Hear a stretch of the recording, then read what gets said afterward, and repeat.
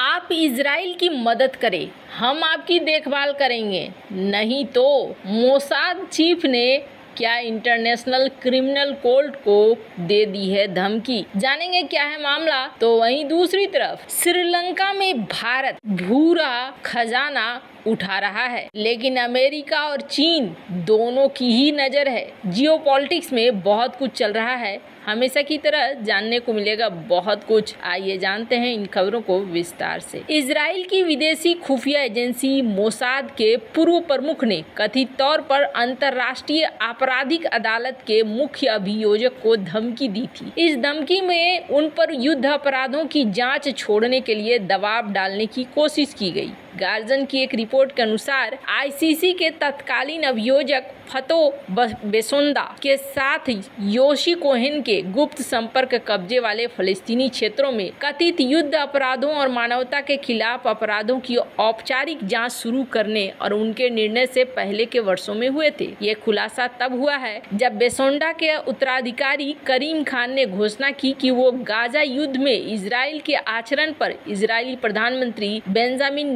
Netanyahu के लिए गिरफ्तारी की वारंट की मांग कर रहे हैं। नेतन्याहू और उनके रक्षा मंत्री योव गैलेंट के साथ साथ हमास के तीन नेताओं की गिरफ्तारी वारंट के लिए आईसीसी के प्री ट्रायल चैम्बर में आवेदन करने के अभियोजक के फैसले का इसराइल के सैन्य और राजनीतिक प्रतिष्ठान को लंबे समय से डर था। आईसीसी के खिलाफ ऑपरेशन में कोहेन की व्यक्तिगत भागीदारी तब हुई जब वो मोसाद के डायरेक्टर थे। एक वरिष्ठ इजरायली अधिकारी के अनुसार, उनकी गतिविधियों को उच्च स्तर पर अधिकृत किया गया था और अदालत ने सैन्य कर्मियों के खिलाफ मुकदमा चलाने की धमकी के आधार पर उचित ठहराया था। बेसोंडा के खिलाफ ऑपरेशन के बारे में जानकारी देते हुए एक अन्य इजरायली सूत्र ने कहा था कि मोसाद का उद्देश्य अभियोजक से समझौता करना या उसे किसी ऐसे व्यक्ति के रूप में भर्ती करना था जो इसराइल की मांगों में सहयोग करे। ऑपरेशन से परिचित एक तीसरे सूत्र ने कहा कि कोहेन नेतन्याहू के अनौपचारिक दूत के रूप में काम कर रहे थे। कोहेन जो उस समय नेतन्याहू के सबसे करीबी सहयोगियों में से एक थे और इसराइल में अपने आप में एक राजनीतिक ताकत के रूप में उभर रहे थे। उन्होंने अदालत को कमज़ोर करने के लिए देश द्वारा लगभग एक दशक लंबे अभियान में मोसाद की भागीदारी का व्यक्तिगत रूप से नेतृत्व किया। चार सूत्रों ने पुष्टि की कि बेसोंडा ने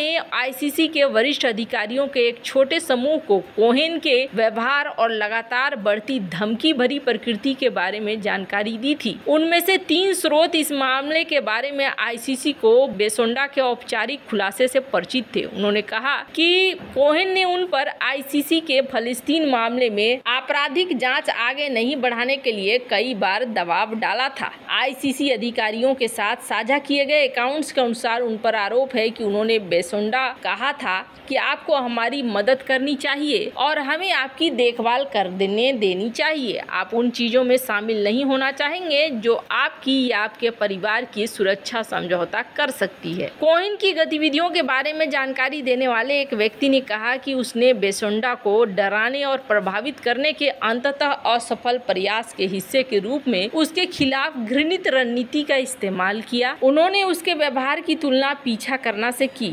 स्थिति के प्रत्यक्ष जानकारी रखने वाले दो स्रोतों के अनुसार, मोसाद ने बेसोंडा के परिवार के सदस्यों से भी गहरी दिलचस्पी ली और उसके पति की गुप्त रिकॉर्डिंग की कॉपी प्राप्त की। के बाद इजरायली अधिकारियों ने अभियोजक को बदनाम करने के लिए सामग्री का उपयोग करने का प्रयास किया। बहुत सारी चीज़ें यहाँ पर इसराइल को लेकर कही जा रही है। अब ये कितना सच है, ये कहना मुश्किल है, पर हाँ आईसीसी इसराइल के खिलाफ एक अरेस्ट वारंट निकालने की सोच रहा है। इस चीज़ को कहा जा रहा है। खैर, जहाँ एक तरफ़ ये सब कुछ चल रहा है, वहीं दूसरी तरफ़ भारत श्रीलंका से अब एक बेहद कीमती ग्रेफाइट माइंस ब्लॉक को हासिल करने की कोशिश में लगा हुआ है। और यहाँ कहा जा रहा है कि कई सारे ऐसे देश हैं जो इस वक्त चाह रहे हैं कि वो भी ग्रेफाइट को हासिल करें। और यूएई ये भी भारत का पार्टनर बन रहा है। क्रिटिकल मिनरल्स में ग्रेफाइट चूँकि भारत के लिए काफ़ी महत्वपूर्ण है, क्योंकि भारत बैटरी बनाना चाह रहा है ईवी के मार्केट में उतर रहा है। और भारत चाह रहा है कि श्रीलंका के साथ ग्रेफाइट को लेकर एक बड़ा समझौता हो जाए और एक ब्लॉक में एंट्री मिल जाए। श्रीलंकन ग्रेफाइट को माना जाता है दुनिया के सबसे शुद्ध ग्रेफाइट में से एक। इसमें 98 प्रतिशत कार्बन कंटेंट होता है।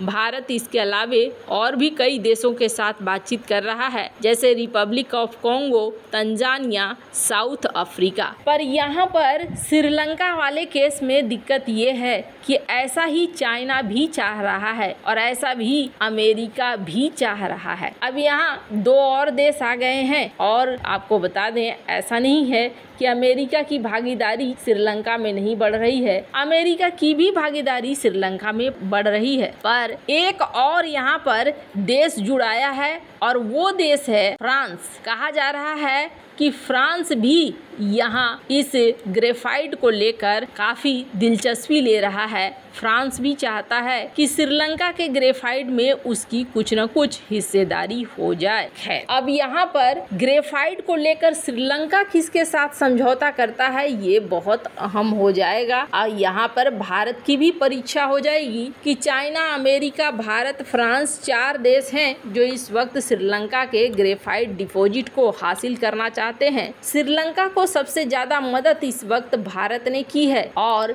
ऐसे में श्रीलंका क्या भारत के साथ डील फाइनल करता है या नहीं करता है? ये चीज़ें देखने को मिलेगी तो सच निकल कर सामने आएगा। हालाँकि ऐसे माना जाता है कि श्रीलंका भारत के साथ ये डील करेगा, इसलिए ये डील करेगा क्योंकि भारत ने काफ़ी मदद की है और काफ़ी मदद कर रहा है। बात करें भारत की कंपनियाँ तो भारत की कंपनियाँ इस वक्त चारों ही तरफ़ इस तरीके के क्रिटिकल मिनरल्स की खोज कर रही है। इसी के तहत भारत ने लिथियम को लेकर अर्जेंटीना के साथ एग्रीमेंट किया। इसी को लेकर अफ्रीका में भी भारत एंट्री ले रहा है। काबिल, जो कि भारत के द्वारा बनाई गई संस्था है, इस वक्त क्रिटिकल मिनरल्स पर बहुत ज़्यादा ध्यान दे रही है। हालाँकि दुनिया के बहुत सारे देश हैं जो इस वक्त क्रिटिकल मिनरल्स पर ध्यान दे रहे हैं, देर आए, दुरुस्त आए। इन सब में बाजी अगर किसी ने मारी है तो वो मारी है चाइना ने, क्योंकि चाइना समझ चुका था आने वाला समय क्रिटिकल्स मिनरल्स का है। और अभी का सीन ये हो गया है कि दुनिया भर के देश गुटबंदी भी कर रहे हैं, ताकि उन्हें